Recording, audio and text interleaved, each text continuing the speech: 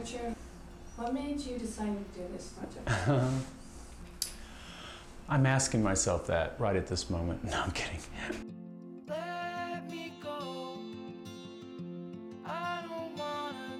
I was turning 40 and I'd been a parent for about eight years. And I wanted to say something about childhood. I was trying to make a movie about childhood. But then the dilemma hit me of like, well, what part of childhood? All my ideas were all over the place. Don't worry about it. Wish we could use the bumpers. You don't want the bumpers. Life doesn't give you bumpers. The grid of 1 through 12, those grades you kind of have to go to. That's kind of what you're sentenced to from childhood. You're gonna be in school through 12th grade, you're gonna live in your parents' house. There was this thing beckoning beyond that, and I wanted to get there in the movie. And that's what I had to express about growing up. Finally, I just had this one big idea. We'll just get the same cast and we'll film a little bit each year. Like, could you do that? Would that work as a movie? I met a lot of kids back then, and Ellar, he seemed the most thoughtful in a way, a little ethereal. I liked the way his mind worked. He wasn't even reading yet at that age, but I liked his taste and how he was kind of processing. We were sort of a family, you know, he was like the son I never had. He was maturing along with my own daughter, Lorelei. They were like siblings in a way. Ellar, throw a stuffed animal the way you do. Is it fun having a little brother? Um, well, yes.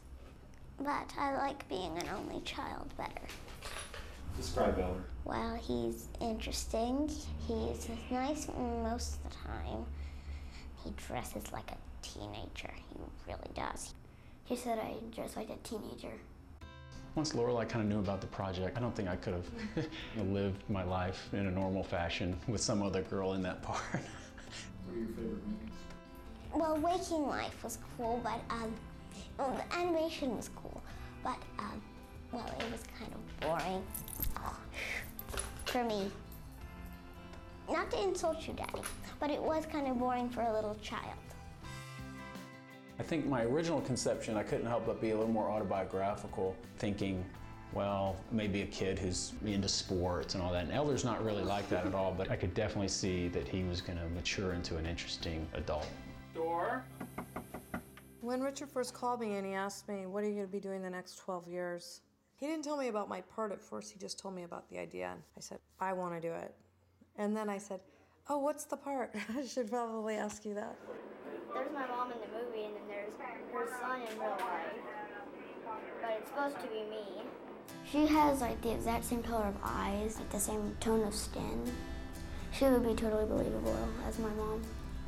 When I first came out, their parents let me basically stay with them for a couple days. Like I took Ellar to the laundromat while Lorelei went to an art class. So just trying to get them somewhat comfortable at least asking me for things like, I'm hungry or I want food or whatever thing it is. She haunts a toilet? And they were so cute. It's so sweet. We did so many art projects. We painted the walls of stories that they liked. His bunk had some and her bunk had another, and we were painting over them. Just the layers of us that were in everything.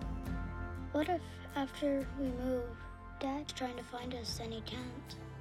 Oh, that won't be a problem. He can call Grandma and she'll tell him. Hey! Oh my! Oh, look at you! You're so big, AMJ. Michael Frosty! You know, the film's called Boyhood, but it could be called Motherhood, Fatherhood, Bumbling Through Adulthood. It was an opportunity to see parents evolve as well as kids. Rumble Let's for the father! Boom! You guys are gonna be seeing a lot more of me, okay? I miss you two real bad while I was gone, okay? I want you to know that. I just needed to take some time. It's kind of a simple idea, really, to watch time work through a film, but it's so impractical on a production level. Are you gonna like to let it grow? Next year, I'm thinking your contrast is better. The shorter it is, then it's long. It'll seem like, ooh, a lot of time has gone by. You know, to shoot three days, you still have to cast and get locations and get a crew and rent equipment. And each time it was like its own film. Action! I got lucky that IFC Productions, who funded my last two films, liked the idea. It's low budget enough. I mean, they're giving me just enough every year, but do it professionally. It's very important that we're shooting in 35 millimeter. I want the film to look like one film, almost to be seamlessly dissolving from one year into the next, just people subtly aging. So I had to shoot that on film. I think if I would have done it high def or any of the current technologies, it would be very dated visually. I mean, he didn't even ask. He just cut it.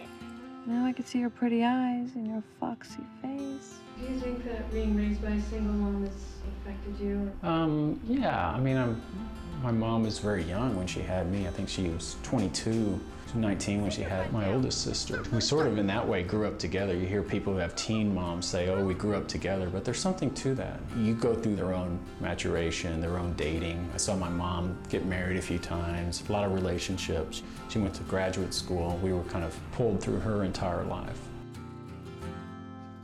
When I was a young adolescent male, there was this growing sexual awareness. You know, all this pressure starts. What about you, Mason? Have you ever gotten any? He gets a taste of like what high school guys talk like. They're very kind of crude and sexual. I hope it's funny. Do you feel that the character's life has paralleled your life in many ways? People ask me that a lot, and not particularly. It's, it's a pretty different character. I Yeah. mean, there. I mean, there are certain aspects. You know, there's whatever. There's teen angst. There's drugs. There's sex. What, what everyone goes through. But like on a more personal level, I think it's more similar, if anything, to, to Rick's childhood. And you been? A little bit. Oh. Oh. Okay. What Rick tries to do is kind of harness a collective imagination and get people aboard something larger than something one individual could do. Climb to the top, look over the ledge, dance barefoot on a razor's edge. Reach for the stars, grab the tiger by the tail. If I don't try, I'll never fail. This is one of the first years where Ellar has evolved into such a co-collaborator. You know, in the early years, it was sort of manipulating a performance from a kid. To now, you know, we started several weeks ago, just got Ellar and, you know, talking about the year and trading ideas. I work with Ellar the same way I work with Ethan now. You know, it's funny the way memory works. I'm kind of obsessed with that. So, this film, I was really trying to go for those off kilter moments. You know, they're not trying to say any big statement about growing up, it's just another moment in your life. There's a lot of drama in and around, but to varying degrees. What's dramatic, what's not dramatic, what's banal, what's poetry. Who do you want to be, Mason? What do you want to do? all of the areas that we are unaware of, all of the things we miss, how we think these big moments are life when I graduate, when I get married. But really, maybe life is the moments in between those big moments. I love you, babe. So proud of you. To Mason. To Mason. He did a great job with both of them. I never thought I'd hear you say that. Well, it's true. Thank you. When he goes away to school, there's a part of her, I think, that, that thought her life was going to begin once her kids grew up. Mom. You know what I'm realizing? My life is just gonna go like that. This series of milestones. Sending you off to college. You know what's next? Huh? It's my fucking funeral! She's not even aware enough to be able to say, I just don't know who I am when I'm not a mom. Her last baby goes. I think it totally freaks her out. What do you think you'll be doing 12 years from now? No idea. I suppose everybody wants to know what everybody's doing 12 years from now. It's not important to know that far ahead, just like in life. How boring it would be if you knew the day and time of your own death or something. I mean, I've had 12 years to think about the notion of, well, where does growing up end and where does aging start? You know, if you ask anyone, like even our title, Boyhood, I was like, well, where does boyhood end? Is there a year that you're no longer, you know, it's like, what does that mean? Sometimes we joke about that an alternate title for the movie would be Some Grow Up and Some Age, because watching this movie, it makes it clear how fast time is always moving, and how, in a lot of ways, this movie is about trying to, to live in the present. I mean, the good news is you're feeling stuff, you know, and you got to hold on to that.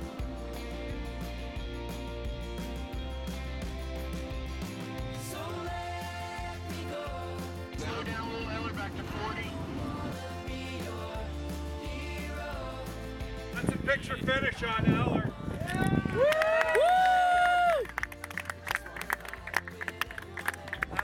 Just finished the 12 year project after 12 years.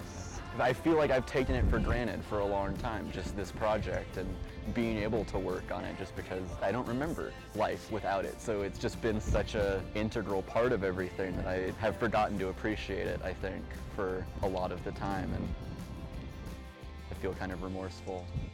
It's almost perfect because that's exactly kind of the message that the movie closes on is throw yourself into the moment. So maybe that's what I've learned most of all.